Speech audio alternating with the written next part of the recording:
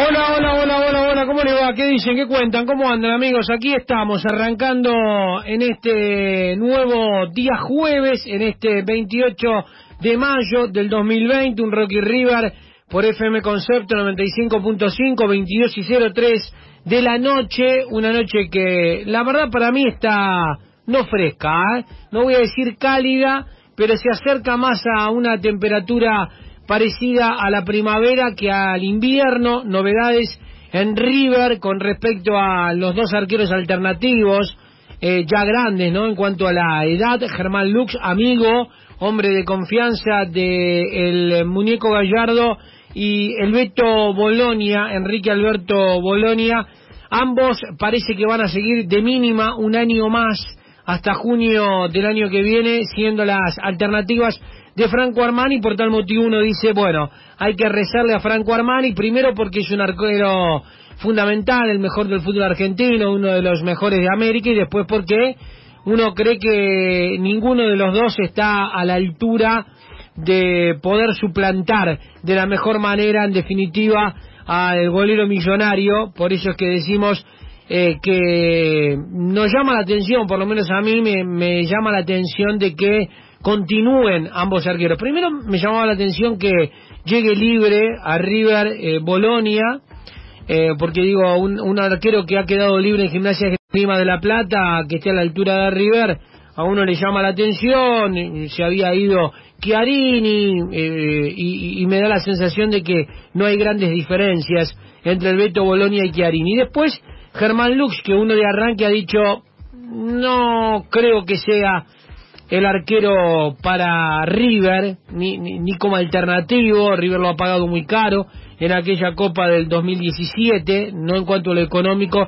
sino en cuanto al rendimiento, y los números de Germán Lux no son buenos, no eran buenos cuando Germán Lux había arrancado en River como arquero, eh, mucho menos ahora ya en, en la curva final descendiente de, de su carrera. Me acompañan tanto Marcelita Calandro, Juancito Viela, Daniel Pérez Alviero y, y, Gonzalo Solaberrieta para que llevemos adelante este programa tratando de tomar conexión con la nota que ya estaba arreglada, con la del uruguayo. Y, y después tenemos la, la segunda nota alternativa que, que tampoco no la pudimos conseguir, pero bueno, no está eh, arreglada. Eh, raro la primera vez que, que, nos clavan poca palabra. Eh, esperemos que haya tenido un percance de último momento y que aparezca para que podamos charlar con este ex campeón con River en la Copa Libertadores de América y también en la Copa Intercontinental. Arranco saludando a las damas. ¿Cómo andas, Marce? Buenas noches, Tano, ¿cómo estás? Buenas noches a todo el equipo de Rock y River y por supuesto también a todos los oyentes que están del otro lado sintonizando la radio. Oh, vamos con Juancito la cola, Juan querido, ¿cómo andas? ¿Te tengo, Juancito? Ahora sí. ¿Estás Juan? No, no estás. Bueno, son días y días. Juancito Bielac, ¿te tengo o no te tengo? No lo tengo. Daniel Pérez Alviero, ¿cómo andás, Dani, querido? Bien, Tano, todo tranqui. Acá ya listo para llevar adelante el programa, como bien vos decías, y esperando tu llamado. bueno, impecable, ¿eh? Sí, no te llamé, perdón. Oye, se complicó a, a último no, momento no la, la jornada, así que, pero quería llamarte eh, a mi llegada aquí nueve y cuarto de la noche, pero estamos intentando desde esa hora tratar de, de tomar contacto con con el entrevistado con quien teníamos todo eh, coordinado, ¿no? Con, con, el uruguayo, con Mario Saralegui. Pero bueno, vaya uno a saber lo que le pasó. Me respondió apenas llegué nueve y cuarto y después no me contestó más. Intentamos eh, probar la línea, a ver si andaba todo en condiciones y nunca nos atendió. Eh, vaya uno a saber si se quedó sin batería, si se quedó sin señal, eh, o qué es lo que le sucedió. A ver, Juancito, si te tengo ahora otra chance. Juancho. A ver, ahora. Eh, de primera, ¿cómo le va? Perfecto. Muy buenas noches, Tano. Muy buenas noches también para mis compañeros y para toda la, la audiencia. Muy bien, por suerte. Y ya solucionado el, el problemita técnico. Bueno, coincides un poco con lo que dije en cuanto a los arqueros. Eh, a ver, el tema arqueros en River, es cierto que si hoy se van los dos juntos, es decir, los, dos tenían contrato hasta ahora, hasta junio, también hay que aclarar que por más de que Gallardo quiere que se queden, eh, también hay una normativa de AFA que hace extender los contratos. River no iba a dejar que Lux y Bolonia estén, por así decirlo, desamparados a partir de junio con este tema del coronavirus. Eh, yo creo que está bien que se queden. Digo. No, no, no, pero una, cosa es que, que, que la AFA diga, bueno, vamos a extender hasta fin de año, que era lo que nosotros habíamos informado, y otra cosa es que se decida que se queden de mínima un año más hasta junio del año que viene. Sí, sí, sí, Gallardo lo que quiere es que los dos renueven un año más. Por eso. Eh, yo a lo que me refería es que de todas maneras era un tema que tenían que resolver, eh, cómo hacían en esos que quedaban entre paréntesis. Para mí está bien que se quede, está bien si Gallardo los quiere, por una cuestión de que hoy salir a buscar un arquero, por, por, cómo está River también, que tiene muchas deudas de, de, en los mercados de pases, salir a buscar un arquero que quizás uno tiene que tener como suplente de Armani siempre, pero al mismo tiempo buscar algo bueno en el mercado. Yo creo que, que si River confía en Lux y Bolonia para que estén ahí, pero que Armani siga siendo titular indiscutido, y bueno, está bien, mantiene un poco el plantel. Más que eh, algunos pibes, digamos. Para vos es mejor tener dos tipos de experiencia en el banco que tener uno por ahí de experiencia, uno grande, mayor y otro mayor para el fútbol, ¿no? Y otro joven que vaya haciendo sus primeras armas, que se vaya codeando, que se vaya rozando con, un arquerazo como Armani, con un arquero con, recorrido como Lux o como Bolonia, al margen de que nos gusten o no. Y si no, buscar la manera de que solo uno esté. Porque digo, también River tiene al pibe Centurión en reserva. Hmm. Es un pibe que ya tiene 22 años, eh, que uno lo puede ir fogoneando de a poco. De última elegir a Lux o a Bolonia para que se quede uno solo, porque también es un, es un gastadero tener un contrato más en el plantel, por supuesto. Eh, y yo me estoy acordando ahora, Tano, de que a Batalla se le vence el préstamo en diciembre. Él está en Chile, hmm. Batalla. Sí. Digo, te perdí. Lo perdí a, Juancito Bielac. Te perdí, Juancito querido. A ver si, si lo podemos recuperar. Lo perdí a, Juancito Bielac. Bueno, qué tema, ¿eh? Qué tema el de, el de hoy. A ver, Juancito, si te tengo nuevamente. No. No, ya veremos si, si lo arreglamos. Eh, la gente sabe que con respecto al coronavirus, eh, uno solo puede estar aquí en el estudio, el resto tienen que estar de, de manera virtual.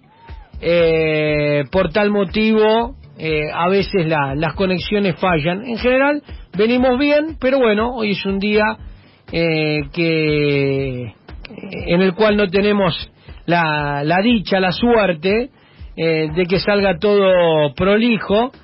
Eh, primero porque se nos ha caído el, entrevistado y después porque ahora hemos perdido contacto con Juancito, con el cual habíamos arrancado ya cruzados.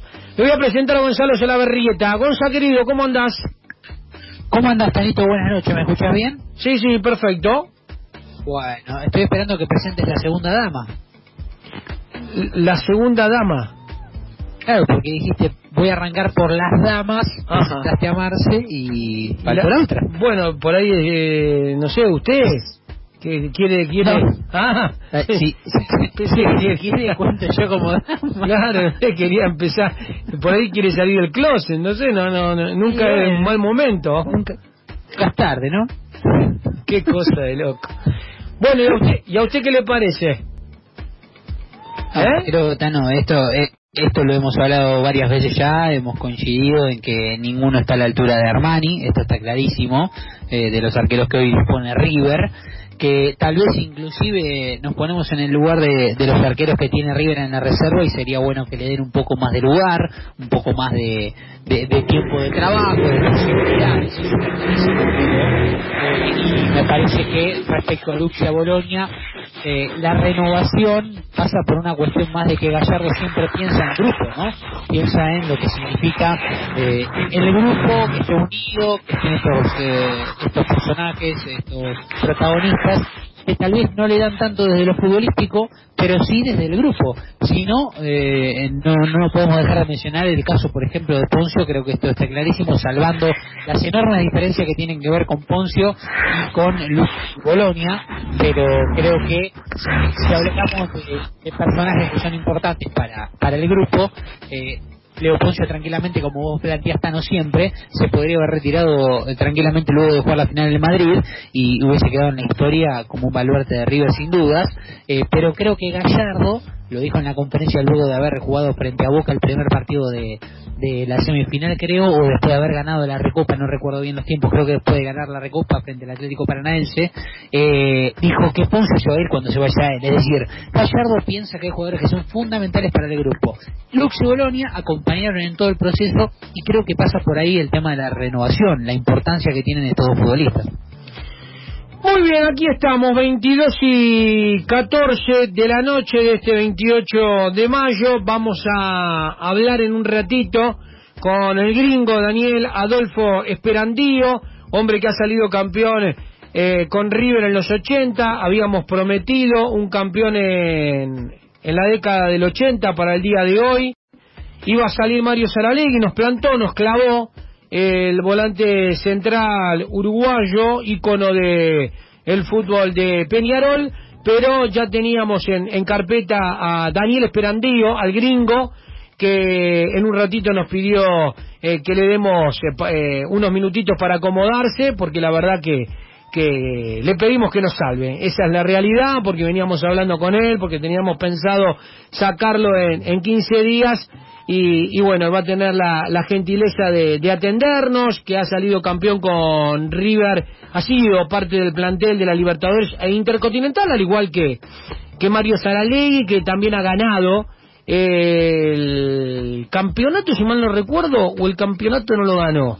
No, el campeonato no lo ganó. Pasó algo parecido con Mario Saralegui. Llegaron para la Copa Libertadores e, e Intercontinental, como muchos otros jugadores, ¿no? Que se habían eh, sumado para los torneos internacionales, en realidad para el torneo internacional como la Copa Libertadores de América y después, bueno, River ganó dicha competencia y pasó a jugar la Copa Intercontinental, por eso es que hay jugadores que se fueron a mitad de año después de ser campeones en el torneo local y hay otros que han llegado para la Copa Libertadores de América. Y claro, el, el grueso de aquel plantel de 35 eh, hombres eh, jugaron y salieron campeones no solamente del torneo local, dando la vuelta olímpica en el estadio del rival de toda la vida, sino que además eh, ganaron la Copa Libertadores de América y también han ganado la Copa Intercontinental.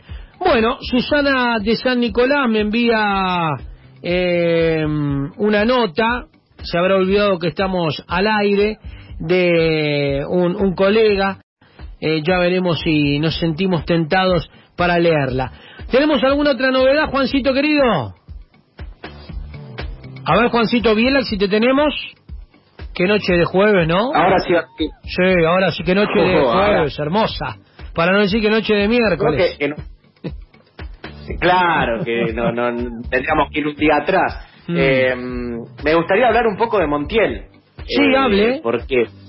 Porque, bueno, todos sabemos que hay dos equipos y hay varios equipos que lo tienen en carpeta. Habíamos hablado un poco la semana pasada, pero pareciera que los italianos son los que más firme tienen la idea de ya ofertar por Montiel. No hay algo concreto en River, es decir, todavía no llegó eh, eh, esa oferta que tiene que tendría que aceptar o rechazar la dirigencia de River, pero sí tengo entendido que el Torino y la Roma son los dos equipos eh, que ya prepararían los papeles para enviar a, las oficinas de Núñez con ofertas de 11 millones de euros, ¿sí? Que a River realmente primero, yo no recuerdo y si quieren ustedes ayúdenme, pero creo que la cláusula de Montiel es de 15 millones de euros por empezar. No recuerdo si es de, lo tengo que chequear porque lo tengo, tengo la, la, la cifra oficial en eh, guardado en, en el celu, debiera chequearlo, me va a llevar tiempo como para hacerlo ahora en vivo, pero eh, recordemos que siempre hay una cifra y que eh, unos días antes de que se cierre el libre de pase, 10 días antes, se, sube a, a, otra cifra que en general eh, asciende a 5 millones de dólares barra euros, digo, en algunos casos dólares, en otros casos euros eh, de mayor cantidad. Claro, eso de que si faltan 10 días, en vez de 15 son 20. Ahí está, me parece que sí. Él ronda por ese monto. ¿Y, para qué se hace la cláusula de rescisión si después te vas a, a, bajar los pantalones hablando mal y pronto? Ahí está, ahí está lo, lo que quiero decir. Si River acepta una oferta de 11 millones, al club netos más o menos le van a quedar 6. Yo no sé ustedes, para mí es regalar un jugador una joya de la cantera por muy poca plata. Si River en definitiva lee esta oferta, primero si llegan las ofertas y si River la acepta, no sé ustedes, pero para mí es un papelón más de la dirigencia. ¿eh? Estamos hablando de 11 millones que de ahí tenés que sacar, eh, porque eso es bruto, de ahí tenés que sacar los impuestos y luego eh, tenés que darle el 15% al jugador, o sea, prácticamente te va a terminar quedando un puñado de, euros, muy poca plata. Sí, sí, sí, correcto. No, no es negocio para River. No hay en el mercado. O sea, suponte, Juancito, lo vendés en 6 millones de euros, ¿no? Eh, eh, eh, porque lo que vas a guardar son 6 millones de euros, más o menos, de los 11. O 7 con toda la locura.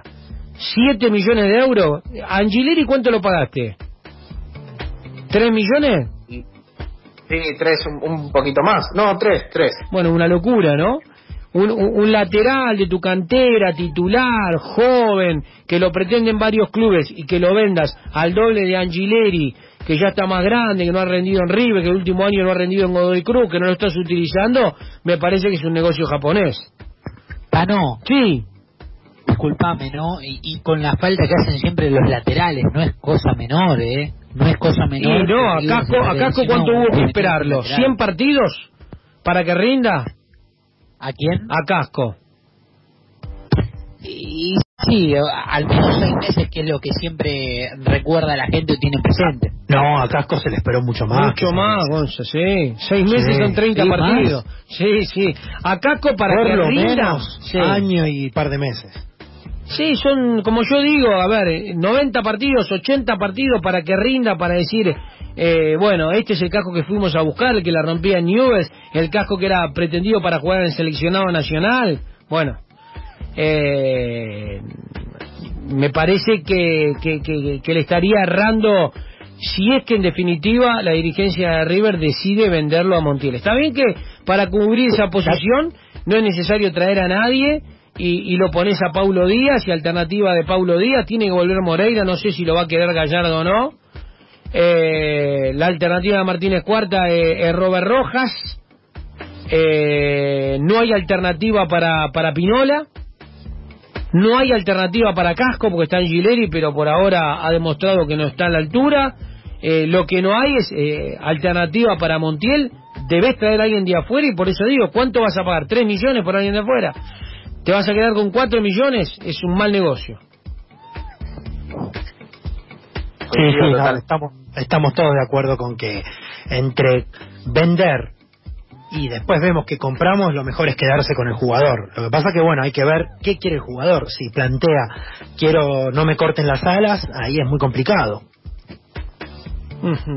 Otro otro jugador del de que se habló mucho eh, fue Barovero, de, si volvía a Argentina porque eh, se iba se iba de México eh, y se ha conocido el día de hoy que su intención por lo menos un año más es seguir en el fútbol, en el fútbol exterior. Ya sea puede ser eh, algún otro equipo de México puede ser Europa si pega el salto pero por ahora Barovero mi información es que no viene ninguno de los dos Juancito. Nosotros no estamos acostumbrados a vender humo no tenemos ganas de vender humo. Si quisiéramos vender humo nos abrimos una carbonería. Eh, creo que fuimos los primeros en donde que nos plantamos y que dijimos que el Pipo Higuaín no iba a venir a River.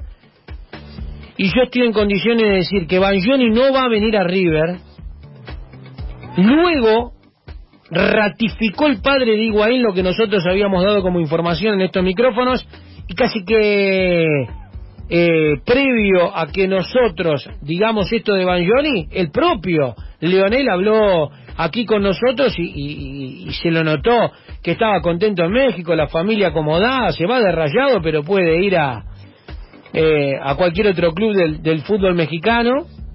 Eh, así que mi información es que no va a venir ni Barovero ni Banjoni a River. ¿eh? Y Banjoni tampoco tiene mucho sentido. Eh, bien, debatimos un poco, pero digo, el, puesto con casco está bastante cubierto. Está bien, pero lo pones a casco de lateral por derecha y lo pones a Banjoni de lateral por izquierda. Yo no sé si rinde casco de cuatro. acordate, acordate en la selección argentina que Casco lo cambiaron de lado y no rindió. Está bien que estamos hablando de dos partidos en esa Copa América, nada más. Por ahí se le tuvo paciencia, como vos decías, Tano, eh, cerca de 90 partidos imagínate si no podremos esperar en el torneo a ver si se adapta a la otra banda. Vamos a saludar que nos atiende muy amablemente estas horas de la noche, 22 y 24 de este 28 de mayo del 2020. el, el querido Daniel Adolfo Esperandío, el gringo que ha salido campeón con River de la Copa Libertadores, ha sido parte del plantel, como así también de la Copa Intercontinental del año 86. Daniel, gracias por atendernos. El Tano Santarciero te saluda. ¿Cómo te va? ¿Qué tal, Tano? ¿Todo bien? Puedo hablar ahí con ustedes. Sí, todo bien acá en Rosario. Bueno, eh, como todo el mundo, ¿no? Respetando ahí la, la cuarentena y, y esperando que pase este, este momento tan difícil, ¿no? Para todos, a los argentinos. O para todo el mundo sería, ¿no? En este caso. A ver, ayúdame un poco. Eh, vos llegaste para la, a mitad de año para jugar la Copa Libertadores y luego River, al haberla ganado, para jugar la Copa Intercontinental. Pasó eso con varios jugadores de, de aquel plantel, ¿no? Que se fueron a mitad de año, como es el caso de Enzo, y se perdieron la chance de ser campeones de América. Eh, es más, el Enzo hasta se perdió la chance de dar la vuelta en territorio hostil el 6 de, abril. Eh, y, y, muchos otros, bueno, eh, disfrutaron de, de, estas dos copas de River, la única intercontinental de la historia. Sí, la verdad, eh, bueno, eh, eh, es una bendición porque tuve la suerte de, integrar ese, ese equipo que, la verdad que era un equipo impresionante, jugadores de, todo de categoría, ¿no? De categoría, con, con las cosas claras y, y bueno, como he aprendido muchísimo de ellos porque si bien yo tenía 20, en esa época 25 años, eh, ahí terminé de, conocer a los jugadores que realmente tenían, eh, o sea, te, nombro casos como, como lo de Neri o lo del Cabezón, eh, bueno, ni habla del Beto, ¿no? Eh, Nero Enrique, y que venían de ganar, eh, de salir campeón del mundo, y en primer entrenamiento yo dije, eh, digo, estos muchachos, hace de cuenta que que no habían ganado nada, porque empezaron a entrenar y eran los primeros, bueno, ni hablar del negro gallego, del Beto, de, de, de, de, Antonio Samendi, de todo, Juancito Funes, de todo, de Roquito Alfaro, todos los jugadores que realmente se ponían la camiseta y, bueno, y, y daba placer verlos jugar, ¿no?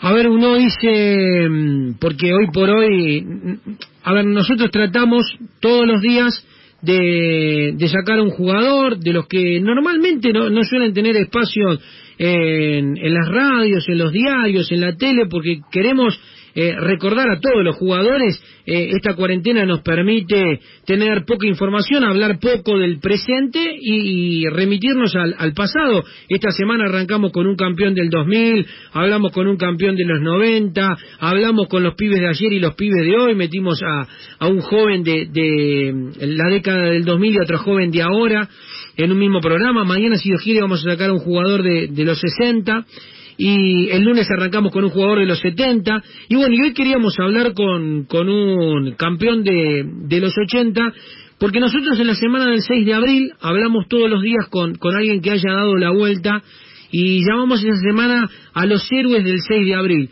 Porque digo, a todos los que les tocó ser campeones del mundo por única vez, con lo importante eh, que es esto, con la camiseta de River, vencer a, un equipo que prácticamente era la base de la selección de Rumania, para muchos ignorantes que le quieren bajar el precio a aquel equipo, eh, que, que, había, que le había ganado al Barcelona de, de España, eh, digo, como para poner en, en términos, digo... No, Tano, perdóname que te interrumpa, ese tipo de, de digamos, de que jugamos nosotros contra en Japón, de Rumania, eh, eh, la verdad era un equipo, creo que la mayoría eran jugadores de la selección, la mayoría. Sí, sí, sí, lo que estábamos diciendo.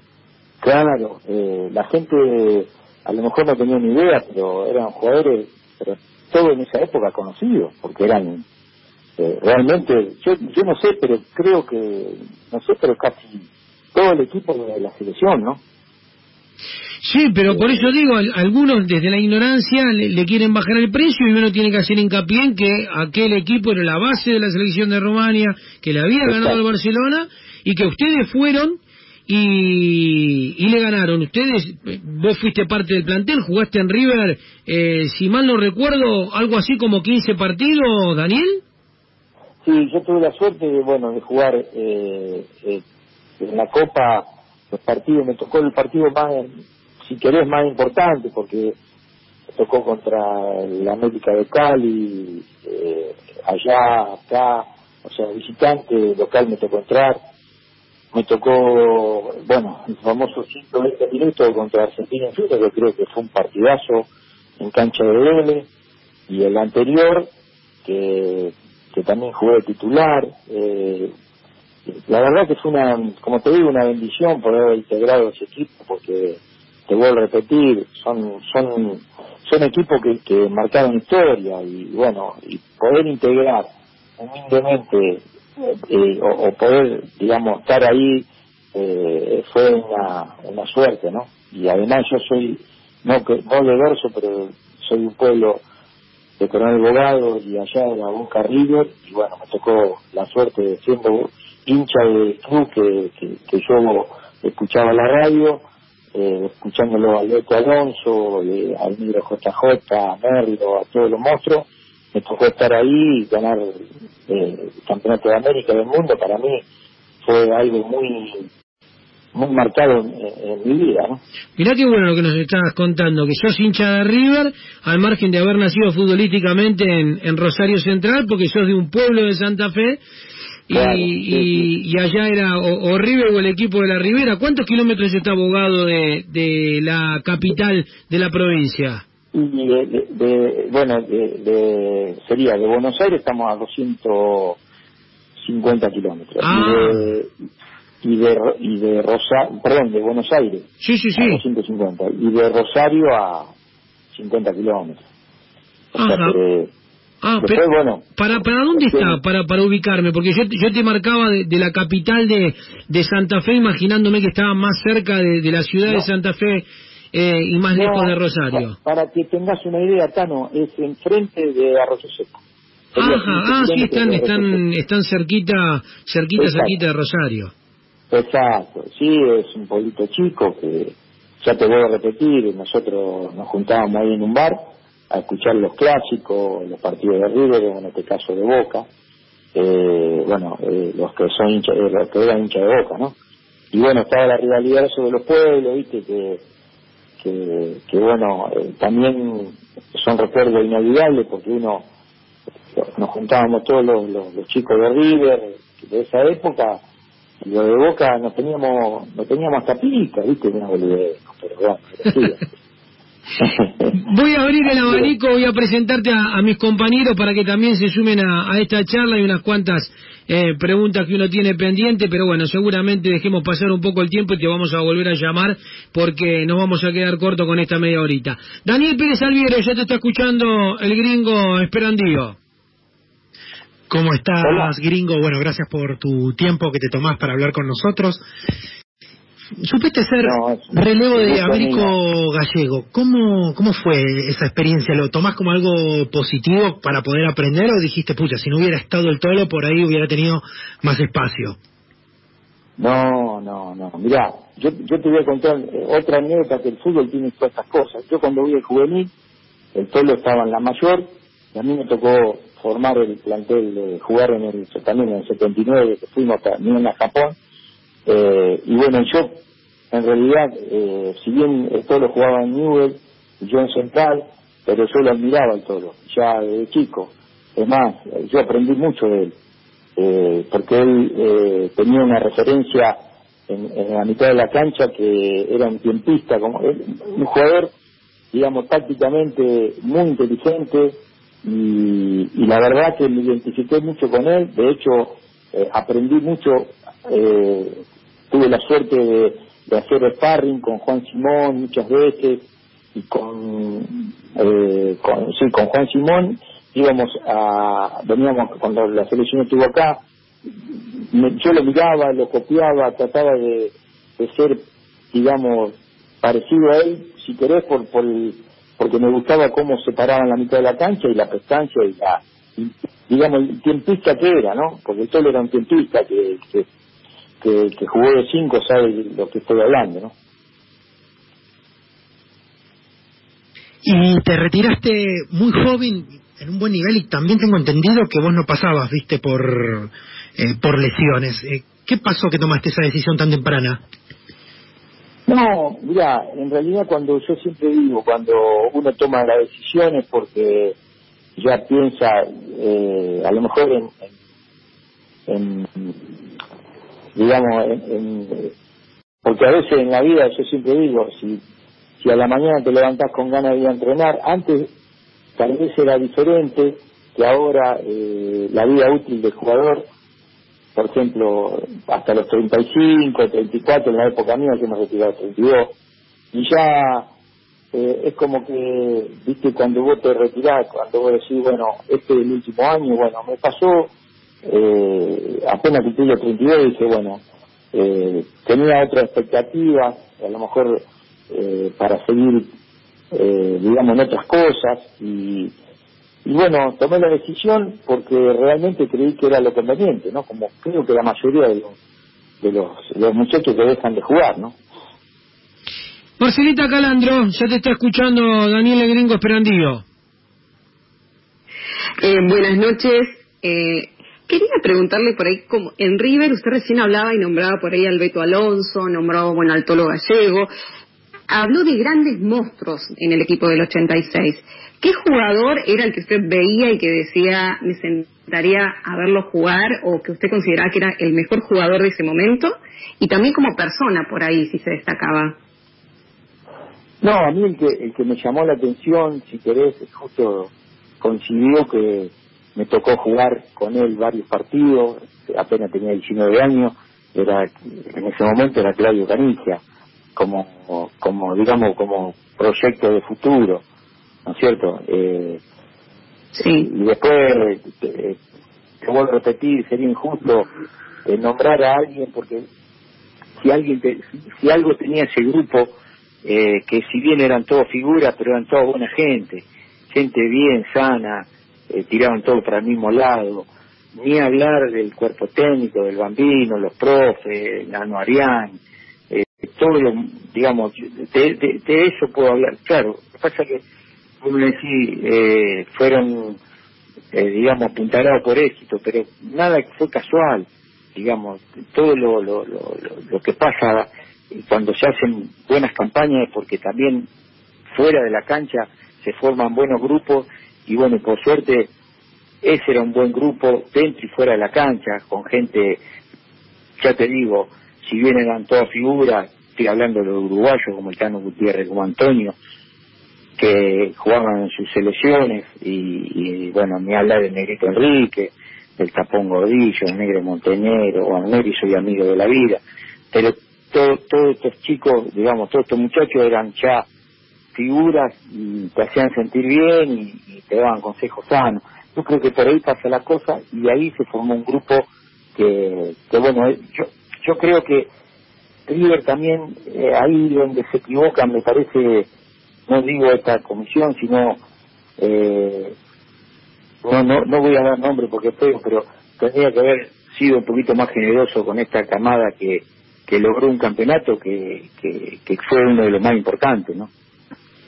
Usted habla puntualmente por ahí del reconocimiento, porque hemos hablado con varios jugadores campeones del 86 y nos remarcaban eso, que no fueron eh, homenajeados por, por su logro por la institución. Y claro, porque imagínate que salieron campeones, bueno, me tocó la suerte también, pero digamos, son jugadores que, que, que, sumaron un campeonato de América y del mundo, no, no creo que todo, todo, eh, digamos, se pueden dar ese lujo de, de, de, obviar eso, o sea, todos todo los que están dirigiendo institucionalmente, digo, hablando, ¿no? Eh, una institución como River que, que sale campeón de América del mundo, me parece que eh, algún homenaje a, los muchachos había que hacerle. Eh, porque esto se envía, no, no, no, no en el recuerdo cuando ya no no no no no, están, no estamos más y digan, che, mirá, hubo este muchacho ganar un campeonato de América del mundo, me parece que era lo lógico es ahora que están todos, gracias a Dios, todo bien, bueno, que pueden disfrutar de ese momento, ¿no? Me, me y, y por último, ¿qué, ¿qué siente usted que le, que le aportó en su carrera jugar en River y usted que le aportó a River? No, yo le aporté a River fue muy poco, eh, eh, porque en realidad yo, yo era integrante del plantel, eh, River sí, un montón a mí, porque imagínate que la vivera que tiene, la exposición que tiene River, eh, digamos, todo, todo lo que alguna vez vestimos la camiseta, digamos, eh, tomamos la dimensión cuando te la pones, porque en realidad River te enseña a, que no hay canchas, digamos, difíciles, eh, bueno, son equipos grandes que, que salen a ganar en cualquier cancha, por supuesto, eh, te enseñan a, a, ser más profesional. Yo agradecido por vida, de por vida, eh, poder haber integrado, ya te digo, ese plantel y poder haber estado en, en, una, institución como River, que para mí era un sueño, y por suerte el sueño fue cumplido con, con digamos, con un campeonato de América y del mundo, un grupo, te voy a repetir, extraordinario, y, y con la camiseta de River, del cual yo fue mi, primera camiseta a los, si querés, a los cinco años, no sé, seis años que me regalaron mi viejo cuando yo era chiquito en mi pueblo, era River, eh, para mí era era el, equipo que uno estaba esperando el domingo para escucharlo por, por radio porque no teníamos ni televisión, ¿me entendés? Es así. Te está escuchando Gonzalo Solabarrieta, Daniel Esperandío. Hola, buenas noches. Eh, recién hablabas del grupo, ¿no? Del 86, eh, qué importante lo, lo, que remarcás más allá de lo futbolístico, el grupo. Eh, ¿Observás esto mismo que recién hace un ratito lo, lo, charlábamos entre nosotros antes de, la entrevista? Eh, ¿Destacás esto de, que Marcelo Gallardo no forme un equipo de fútbol, sino un grupo de personas que lleven a, a cosas importantes? Sí, sí, yo creo que que Gallardo entiende que, que, los, los, los grandes, digamos, una cosa es un equipo, otra cosa es un plantel. Vos imaginate que en un momento dado eh, hay muchos partidos y necesitas de, eh, en un momento de reemplazo del, desde el banco y que estén aptos y acorde a lo que está haciendo el equipo en su momento. Yo creo que, que Marcelo Gallardo eso le maneja muy bien. Te, digo, es el técnico ideal para River eh, yo creo que cuando vos decís me calzo en un saco y me queda justo para él. Bueno, este, este es lo mismo, eh, eh, digamos, River y Gallardo tienen una sintonía que la verdad eh, es admirable porque digamos es, sería el técnico ideal para para que se quede dando más día que él quiera eh, y otra cosa, hablando de, cosas importantes, de títulos obtenidos, eh, haya jugado lo que haya jugado, están en el plantel eh, con muchas personas eh, con las cuales podés hablar o podés escuchar en alguna entrevista, ya sean futbolistas que lo vivieron, personas que lo vivieron como hinchas en radio o en televisión, Inclusive me ha tocado en algún momento hablar con Juan Carlos Morales y me dijo que el torneo más importante que él relató y que vivió fue justamente aquel juvenil del 79 del cual fuiste parte, en donde compartiste plantel nada más y nada menos que con Diego Armando Maradona y Ramón Ángel Díaz. Eh, estuviste en ese plantel y en el plantel eh, de River que consiguió por única vez en su historia hasta este momento eh, el torneo intercontinental. Eh, realmente, con una mano en el corazón, ¿cuál de los dos fue más significante para vos? Y mira, los dos fueron distintos, porque yo en realidad con el juvenil eh, te puedo explicar de que yo era el titular y me pasó una cosa ahí, digamos, en el momento no me di cuenta porque estaba muy amargado por el hecho de que me había lesionado en una gira, porque yo tenía, bueno, yo jugué todo el sudamericano, que nos clasificamos sería para ir al, a Japón, que en Uruguay fue, y por supuesto hacemos una gira por Estados Unidos y el último partido que jugamos, que me acuerdo en Los Ángeles, me, me lesioné el tobillo, de hecho viajé, eh, digamos, con una con una lesión importante y apoyado por el cuerpo técnico y todo eso pude superar la lesión allá pero ya no pudiendo jugar de arranque y por supuesto entró Valdito Rinaldi que era un jugador impresionante y el equipo estaba bárbaro y lo bien que hizo eh, César de respetar el puesto porque en realidad así fue. Eh, yo digamos llegaba muy justo y Osvaldo estaba impecable. Por suerte salimos campeones. Eso fue estimulado en el juvenil con una edad muy chica Leo River a lo mejor fue a nivel institución para mí lo más importante porque imagínate que un campeonato con River en Japón eh, hablar la Copa Libertadores no que fue durísima y que se ganó muy bien. Y te voy a repetir los dos campeonatos fueron distintos para mí porque en una edad de 19 años a lo mejor no lo valoré te voy a repetir como valoré el, el del 86 por por a lo mejor porque estaba más en condiciones, pero era porque me pasó más que nada por una cuestión de, de, mía personal de amargura que, en el 79 tenía eh, la camiseta, digamos, como yo siempre digo, cuando uno eh, es titular, eh, viste, es distinto y bueno, por supuesto, siempre fui el, el, el que apoyé de hecho, estábamos juntos en la habitación, yo siempre lo cuento con Osvaldo, y, tenía, y tenemos hasta el día de hoy una amistad increíble, pues son tanto los, chicos del juvenil como, te voy a repetir, por, eso te digo, se ganan cosas porque hay buena gente, y bueno, la, para redondear lo que vos me preguntaste, fueron cosas diferentes, ¿no? ¿Qué escucha Juancito Vila ya el gringo Daniel Esperandillo? ¿Qué tal, Daniel? Muy buenas noches. Eh, quiero seguir preguntando por, por este equipo del 86. Se traza un paralelismo, varias veces ya, ya hemos escuchado hablar, y sobre todo con protagonistas de aquel equipo del 86. Se traza un paralelismo también con el equipo de River de 2018, que obtiene la nada más y nada menos que la Copa Libertadores eh, ante Boca en Madrid. ¿Vos te animás a hacer una comparación y decir cuál de los dos, si hoy se enfrentaran en un eh, partido mano a mano, cuál de los dos equipos ganaría? Y también quiero preguntarte, ¿cuál considerás que es para la historia de River el, el trofeo más valioso, si aquella intercontinental del 86 o la Copa justamente ganada a Boca en 2018? Ah, me hiciste, me hiciste, creo que una pregunta muy difícil.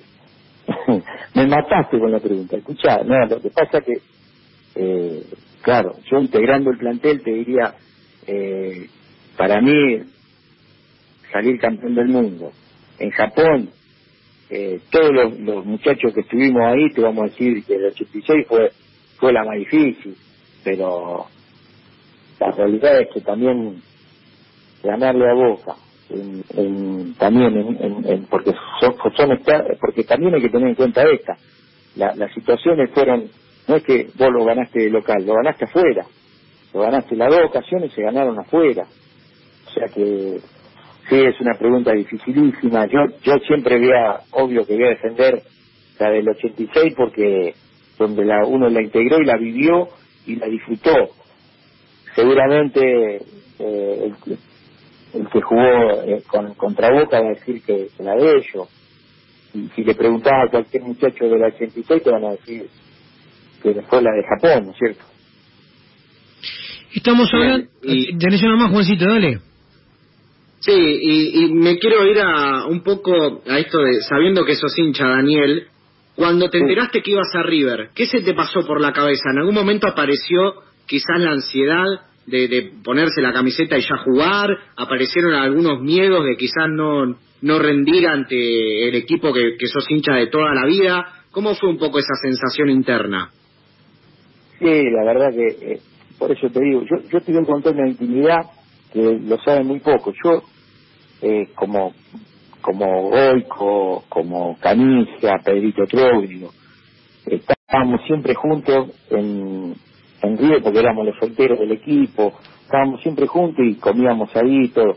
Yo me levantaba en la mañana, y esto no lo digo para quedar bien porque a, a los 60 años ya no, no, la vida me pasa por otro lado. Eh, yo le agradecía a Dios todos los días cuando me levantaba de, de ir a entrenar con la ropa de River. Ya con eso te contesto todo. O sea, o sea, cuando yo me levantaba y sabía que tenía que ir, eh, de hecho, varias veces, la mayoría de las veces nos quedábamos a dormir en la concentración por una cuestión de practicidad, porque entrenábamos ahí, pero te voy a repetir, yo me, le agradecía a, Dios todos los días de, poder estar ahí y lo disfruté al máximo. Si eh, no me voy a arrepentir de que lo disfruté porque vivía prácticamente ahí en el club y te voy a repetir con todos los muchachos que te nombré, estábamos todo el día juntos y, cada entrenamiento te agradecía a Dios de, poder estar ahí, esa es la realidad, porque uno desde chiquito yo lo escuchaba con, una radio que teníamos en mi casa, a River y me lo imaginaba al Beto Alonso, eh, a Negro JJ, a Merlo, a todos los monstruos de esa época, de hecho se lo dije un montón de veces al Beto, de que yo digamos, era un admirador de todo ello. Entonces, imagínate que estar ahí, me tocó la suerte de estar ahí con el Beto y todo, para mí es un sueño, como todo chico que viene de un pueblo y se pone la camiseta de River, ¿no es cierto? Eh, es el sentido y, y de esas cosas uno no se olvida más, ¿me entendés? Esa es la realidad. Por eso estoy agradecido a River, que vuelvo a repetir, al grupo que me tocó, que fueron lo que te la hicieron más fácil en el caso mío, que yo, eh, si bien eh, venía de, Rosario Central, pero eh, viste, llegar a un equipo como River te, magnifica todo, ¿no? A ver, Daniel, eh, uno a ustedes les tocó una, una época, en realidad a todos, porque vos sos parte del plantel, pero digo a todos los del 85, 86, a toda la camada del Bambino, que cuando enfrentaba al equipo de la Ribera le ganaba o, no perdía. De 15 partidos solamente le ha tocado perder una vez. Esto es para algún distraído que no sabe, que desconoce, que piensa que, que con Gallardo nació la paternidad entre comillas, cuando el máximo goleador de la historia de los superclásicos es Angelito Labruna, eh, que, que, le ganaba siempre, River le dio tres vueltas en su cancha, etcétera. ¿Te parece que hoy por hoy está esa esa sensación también, ¿te parece que juega en el inconsciente de los jugadores del equipo de la Ribera cuando salen a la cancha? Que pueden hacer un gol, pero si River los empata le va a ganar, que pueden hacer dos goles, pero River los va a terminar empatando, algo parecido a lo que nos pasaba a nosotros en la década del 90? Yo coincido totalmente, coincido totalmente porque es la sensación que te da.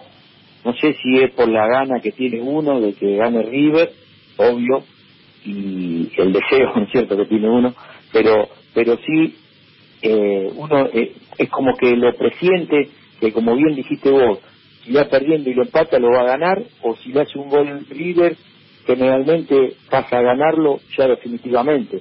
Eso me da la sensación de que pasa, ¿sí? Coincido totalmente porque lo he pensado, mientras veía los, los clásicos lo he pensado y, y, y lo veía así, tal cual, tal cual como lo describiste.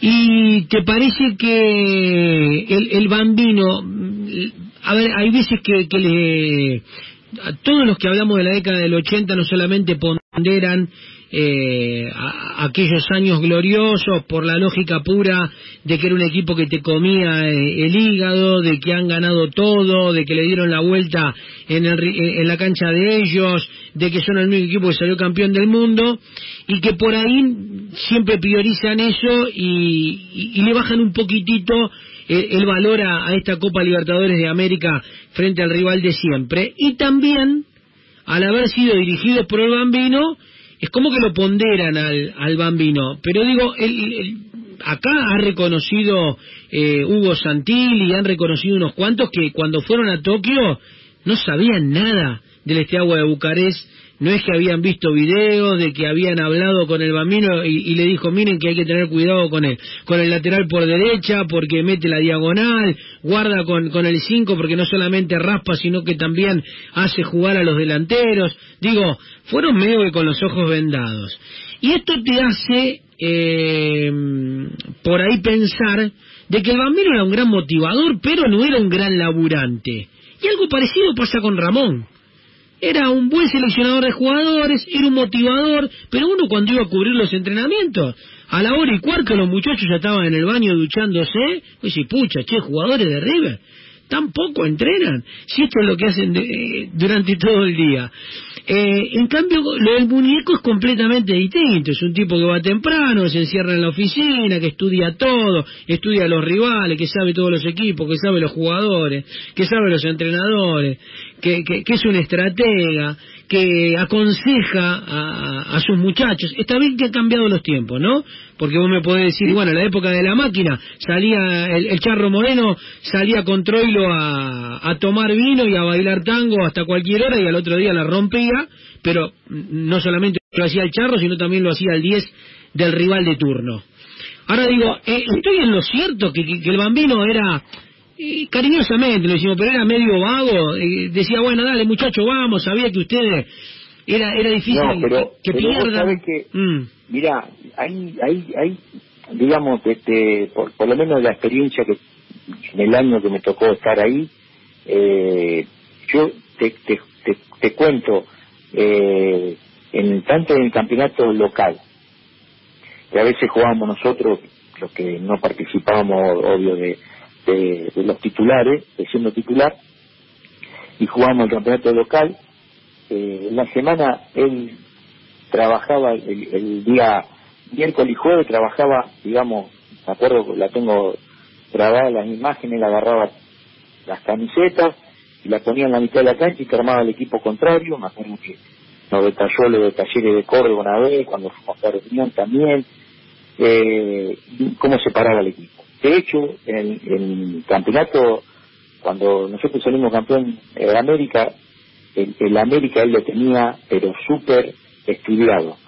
Eh, eso lo doy fe porque después lo de, de, Rumania, claro, a no haber tanto material, hoy hoy hoy apreté un botón y saber de, cada jugador. Antes no, no teníamos esa posibilidad, o en este caso el Gandhi no tenía esa posibilidad, pero sí donde, te voy a repetir, donde de, América para atrás, él conocía eh, muy bien en el Campeonato de América, yo me acuerdo que el, equipo del Bambi, eh, donde te pegaba te dolía, mejor dicho, donde te pegaba era muy difícil, que, donde vos le hacías un gol al contrario, es difícil que, lo, que, lo, que lo tumbaran, ¿eh?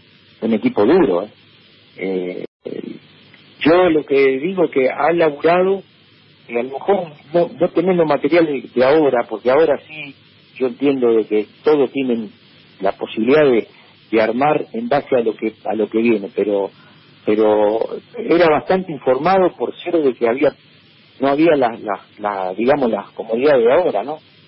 Vos coincidís porque yo decía que en el 2015 era una conjunción del equipo del 86 con el del 96, hablando de los campeones de la Libertadores. ¿Por qué? Porque tenía huevos, porque pegaba, porque metía, porque raspaba, porque iba para adelante y tenía algo de calidad de juego y de gol como el del 96 que para mí jugaba mucho más al estilo River que aquel del 86. ¿Coincidís un poco con eso? El del 2018 te pierde porque eh, fue una copa eh, que la sufrimos mucho. Eh, a ver, eh, dos clásicos rivales como Independiente y Racing, el último campeón como Gremio, el equipo de la Rivera que es tu clásico rival. No, no se puede poner en la balanza porque fue la Copa de Campeones. Pero si uno tiene que hablar de la del 2015, ¿coincidís un poquito conmigo con respecto a esto? Totalmente, totalmente. Era una, como dijiste bien vos, una mezcla de todo.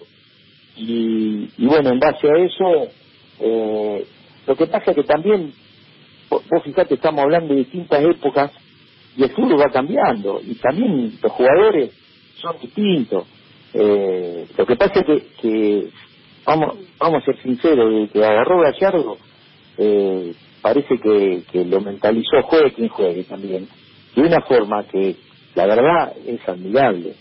Eh, yo, si hay algo que admiro de Gallardo es que, eh, digamos, presionan en todos lados, arma equipo muy agresivo y muy de presión alta. Eh, nosotros en la época, de, vamos a ser sinceros, en la época nuestra de, del 86 no, no, no, presionábamos tan arriba, éramos más de esperar otros cuatro cancha y de ahí sí, de contra ese equipo te mataba, porque con Antonio, con Juan, con Juancito Funes, con, con, con Roque que era un eh, que te ponía la, la pelota precisa, muy difícil que pasaba eh, por afuera y te liquidaba. Era un equipo realmente muy, muy trabajado y muy duro. Yo siempre digo, y, y lo de Gallardo, tengo más acá, era un equipo, es un equipo, mejor dicho, diferente, con presión alta, que donde te roba la pelota eh, te hace daño porque porque además juegan, hace un equipo corto, digamos, ¿no? Que es lo que llamamos nosotros un equipo corto, en ese caso te roba y te tiene ahí nomás acorralado. Eh, por eso también gusta mucho, ¿no? La verdad que nos quedamos cortos, era para hacer una nota larga, queríamos pactarla con, con tiempo y, y, charlar contigo eh, por lo menos toda la hora, pero bueno, hay veces que, la, que las cosas se dan de esta manera. Te agradezco mucho, seguramente te vamos a, volver a molestar allá por fin de año y a dedicarte toda la hora de, de Rocky River. Te dejo un, un fuerte abrazo, Daniel. No, gracias a ustedes, muchachos, por, por, por llamarme y, y bueno, agradecidos yo. Necesito recordar, mientras yo hablaba con ustedes, me recordaba, necesito recordar ese año y me emocioné.